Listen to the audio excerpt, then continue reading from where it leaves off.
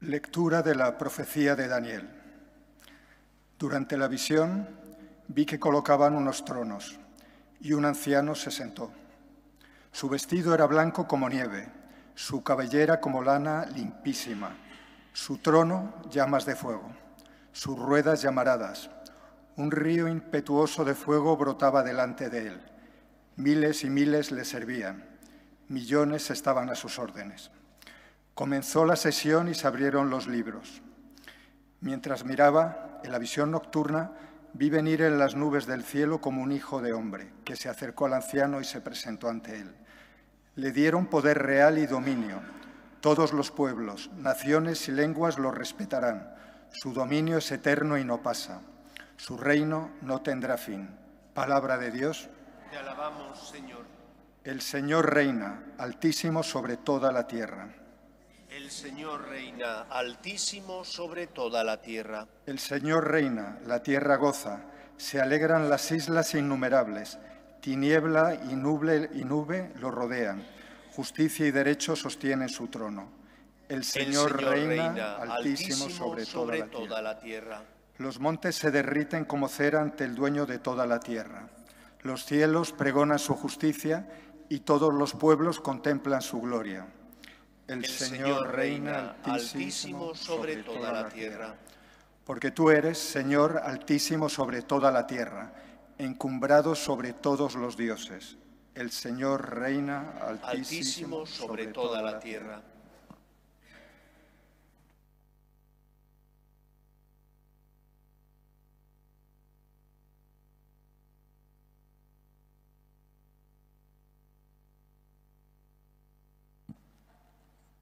Lectura de la segunda carta del apóstol San Pedro.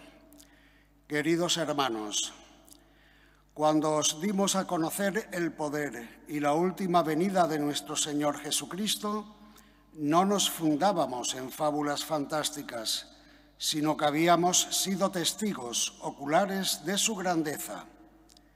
Él recibió de Dios Padre honra y gloria cuando la sublime gloria le trajo aquella voz. Este es mi Hijo amado, mi predilecto. Esta voz, traída del cielo, la oímos nosotros, estando con Él en la montaña sagrada. Esto nos confirma la palabra de los profetas. Y hacéis muy bien en prestarle atención como a una lámpara que brilla en un lugar oscuro, hasta que despunte el día y el lucero nazca en vuestros corazones. Palabra de Dios. Te alabamos, Señor. Aleluya, aleluya. El Señor es nuestro Rey. Aleluya, aleluya. El Señor es nuestro Rey. El Señor esté con vosotros. Lectura del Santo Evangelio según San Mateo. En aquel tiempo Jesús tomó consigo a Pedro, a Santiago y a su hermano Juan, y se los llevó aparte a una montaña alta. Se transfiguró delante de ellos, y su rostro resplandecía como el sol, y sus vestidos se volvieron blancos como la luz. Y se les aparecieron Moisés y Elías conversando con él. Pedro entonces tomó la palabra y dijo a Jesús, Señor, qué bien se está aquí. Si quieres, haré tres tiendas, una para ti, otra para Moisés y otra para Elías. Todavía estaba hablando cuando una nube luminosa los cubrió con su sombra, y una voz desde la nube decía, Este es mi Hijo el amado, mi predilecto, escuchadlo. Al oírlo, los discípulos cayeron de bruces, llenos de espanto. Jesús se acercó y tocándolos les dijo, Levantaos, no temáis. Al alzar los ojos, no vieron a nadie más que a Jesús solo. Cuando bajaban de la montaña, Jesús les mandó, no contéis a nadie la visión hasta que el Hijo del Hombre resucite de entre los muertos. Palabra del Señor.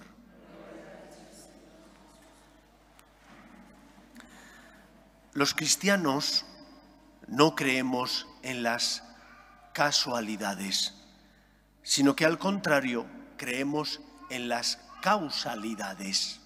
Puede parecer lo mismo, pero no es igual.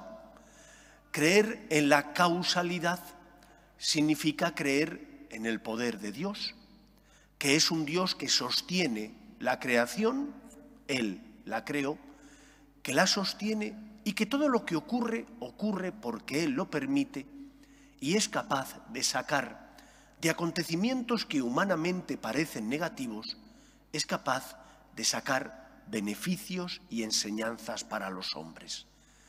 Recuerdo cómo hace ya como 14 o 15 años el padre Santiago, que era párroco de esta parroquia, decidió que teníamos que empezar una nueva iniciativa en otra diócesis. Y yo que había estado 10 años al amparo de su protección, que había estado aprendiendo con él tantos años y disfrutando de esta parroquia fantástica, pues me tocó marcharme a Alicante. Y unos días antes de tener que irme a Alicante, que es la diócesis de donde yo vengo, pero que suponía para mí un reto, primero porque abandonaba la seguridad de estar bajo el cuidado de tu padre espiritual, segundo porque inicias un trabajo en otra diócesis como cura, donde nunca había estado como cura, Tercero, porque empezaba con una comunidad distinta, otros dos hermanos sacerdotes con los que tenía confianza y amistad, pero cómo funcionaría la cosa era un misterio. Entonces, unos días antes de marcharme, una señora de la parroquia me regaló un libro de Madre Teresa. Yo cuando vi el libro le di las gracias, lógicamente, pero no me pareció un libro atractivo. De hecho, lo guardé en una de las cajas que me llevé a Alicante y ahí estaba en una de las cajas. Pero cuando llegué a Alicante, y entonces la tristeza empezó, empezó a apoderarse de mí, estaba deshaciendo las maletas, las cajas, y entonces vi el libro. Voy a leerlo.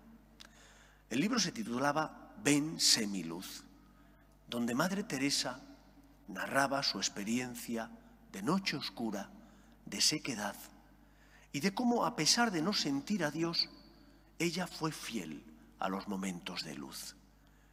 Aquel libro supuso para mí un bálsamo y un consuelo. Dios sabía por qué esta mujer de la parroquia me había regalado a mí ese libro. Yo no lo sabía. Lo único que pensé al principio, va, un libro más, de tantos como se editan. Un libro que el Señor quería que yo tuviera. No lo habría comprado en una librería, porque no me atraía en ese momento esa figura. Pensaba, pues que bueno, pues no era el momento. Y sin embargo, el Señor quería que yo tuviera ese libro, que yo lo leyera para que encontrara paz, esperanza y consuelo. Por eso os digo que nosotros los cristianos no creemos en las casualidades. Las cosas no ocurren porque sí, ocurren porque Dios las permite. Y Dios es capaz de, sirviéndose de esas cosas, circunstancias de la vida, es capaz de sacar cosas provechosas. Aquel libro, Vence mi luz, me ayudó en un momento difícil en mi vida. Me ayudó a tener esperanza, a confiar en el Señor, a recordar que el Señor me había mimado y que por lo tanto si me había mimado era porque ahora aquello que había recibido tenía que dar fruto. Y no podía pretender toda la vida que el Señor me llevara en brazos. El niño que va creciendo tiene que aprender a caminar. A veces no le apetece, pero papá y mamá que le quieren le educan, le enseñan, fortalecen también su carácter y le enseñan a caminar para que de esa manera, desarrollando esa capacidad, pueda relacionarse con los demás y todo lo que ello conlleva. La fiesta que hoy celebramos es la fiesta en la que la Iglesia nos recuerda que Cristo, el Señor, sabe lo que necesitamos, conoce nuestra debilidad y porque conoce nuestra debilidad, porque sabía la debilidad de sus discípulos y que la pasión, muerte que él iba a padecer iba a significar un duro golpe para la fe de los suyos, se los lleva a mostrarles su rostro, para que recuerden cuando sea apresado que es el Señor, que ese que vieron su rostro transfigurado, que se apareció Moisés y Elías junto con él, es el Señor, aunque le hubieran apresado, aunque hubiera muerto en la cruz, es el Señor. Y de esa manera sus discípulos no dudarán de Él. ¿Cuál es la enseñanza en nuestra vida? Todos nosotros tenemos muchos momentos de luz. Es verdad que hay veces que hay momentos de tiniebla. Madre Teresa tuvo muchos años de sequedad espiritual, pero había tenido mucho tiempo de experiencia del amor de Dios. Ella había disfrutado del amor de Dios y sabía que Dios le amaba y estaba en la Eucaristía. Y ese momento de luz iluminó toda su vida, aun en los momentos de sequedad. Se fió de Dios y esos momentos de luz iluminaron los momentos de tiniebla. Cuando tengas dudas, cuando tengas dificultades porque la cruz pese, ven a rezar. Mira la cruz de Cristo. Hemos de ser más contemplativos, porque cuando, cuando, contemplamos nuestra vida y vemos la mano del Señor en ella, encontramos razones para no desesperar, para confiar en Él. ¿Comprendemos siempre los planes de Dios? No, en muchos momentos no los comprendemos. Como María no comprendió en muchos momentos los planes del Señor, pero se fió. Así le habían enseñado sus padres San Joaquín y Santa Ana, que Dios es fiel y cumple su palabra. Se fió de Dios. Lo mismo nosotros. Recordemos los momentos de luz. Seamos fieles a esos momentos donde hemos sentido el amor de Dios. Y si tenemos dificultades, vengamos a rezar. Vengamos a pedir al Señor ayuda. Pero no vengamos a increparle, sino que al contrario, recordemos que es el Señor, que por nosotros murió en la cruz, que por nosotros sufrió la, el morir en la cruz y toda la pasión para pagar la deuda contraída por nuestro pecado y por lo tanto tenemos razones para confiar en Él y para creer en Él. Que los momentos de luz iluminen los momentos de tiniebla. Segunda enseñanza de este Evangelio. Jesús se aparece junto con Moisés y Elías, dos de las principales figuras del Antiguo Testamento. Él es la respuesta de Dios a las promesas que había realizado al pueblo de Israel. Dios cumple su palabra. Envía a su Hijo al mundo para que el pecado no tenga la última palabra en nuestra vida. Y por lo tanto tenemos que aprender no solo a confiar en Dios, sino también a recordar la revelación de Dios a los hombres. Antiguo y Nuevo Testamento forman parte de un todo, que no se puede dividir. En el Antiguo Testamento aprendemos que Dios es el Señor. En el Nuevo, Cristo nos revela que ese Dios que es el Señor, creador de todo, también es nuestro Padre. Nos adopta como hijos enviando a su Hijo al mundo. Esto lo sabemos todos muy bien. Venimos como hijos a la iglesia. Pedimos como hijos a nuestro Padre Dios. Recibimos el alimento de Cristo porque Él quiere compartir con nosotros su vida divina. Pero nos olvidamos de la principal enseñanza del Antiguo Testamento. Dios es el Señor, Dios tiene derechos y yo tengo deberes para con Dios. Y porque nos olvidamos de esa verdad tan esencial y fundamental, a veces nuestra fe entra en crisis. La Virgen María tampoco entendió plenamente los planes de Dios. Cuando su hijo estaba siendo ajusticiado injustamente, cuando su hijo en la cruz pierde la vida, María no tenía razones humanas para confiar en Dios, pero su fe la sostuvo. Su fe basada en que Dios es el Señor, en que te tienes que fiar de Él, que es un Dios que cumple su palabra, hizo que María, llena de dolor, transida de dolor, no desesperara. Qué gran enseñanza. Cuando tú te fías de Dios, aunque a veces no comprendas sus planes, cuando porque es el Señor te fías de Él, nunca tu fe entra en crisis, porque el Señor te sostiene. En los momentos de cruz, que nuestra fe no entre en crisis, porque es el Señor y confiamos en Él. Porque es el Señor, Él tiene derechos y yo tengo el deber de fiarme de Él. Es el Señor, me creó, porque me ama y me salvó porque me ama. Antiguo y Nuevo Testamento me enseñan a respetar a Dios y a disfrutar también de los derechos que Dios Padre quiere compartir conmigo. Pero si no respeto a Dios, si no me fío de Él, mi fe entrará en crisis.